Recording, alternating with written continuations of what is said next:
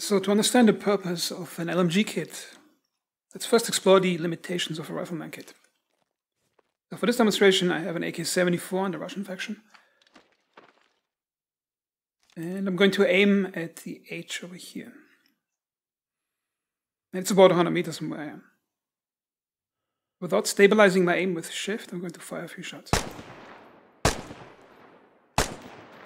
As you can see, I can land some accurate shots, but it takes about a second to readjust, shoot. Now let's see what happens in full auto.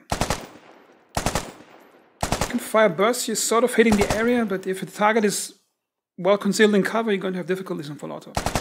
So the um, there's limits to how much accurate fire and volume of fire in a specific amount of time you can you can put on the target. So let's see what happens with an LMG kit. I'm going to pick an LMG kit which is um,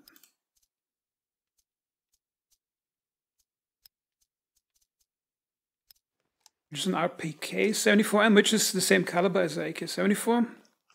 Slightly longer barrel, heavier barrel, and a bipod. The bipod on it. First we try semi-auto.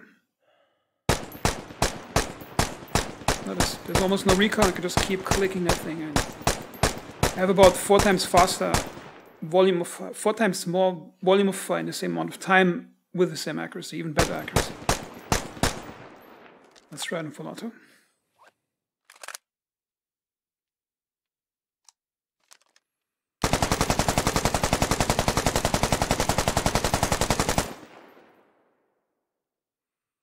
Now I fired the whole 45 round magazine in, in, a time that would have required me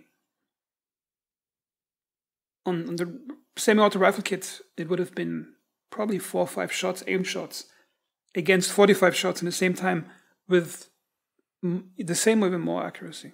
And that's the advantage of an LMG kit. You have more accurate fire and you have a higher volume of fire. And the difference in volume of fire is you have more firepower than an entire squad of five, six, seven, or even ten players who have rifleman kits. Let's look at some very basic tactics you can use an LMG kit with. okay, now this is a very basic tactic. Okay, let's say you have there's a small wall behind which you're hiding. Here's a house. And this is a road.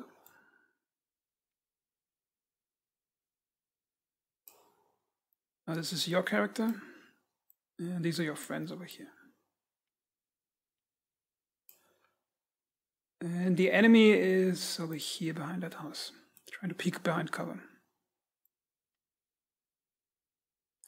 So what they're going trying to do is to try to peek out of cover and shoot back at you. And let's assume they're rifleman kits or not LMG kits.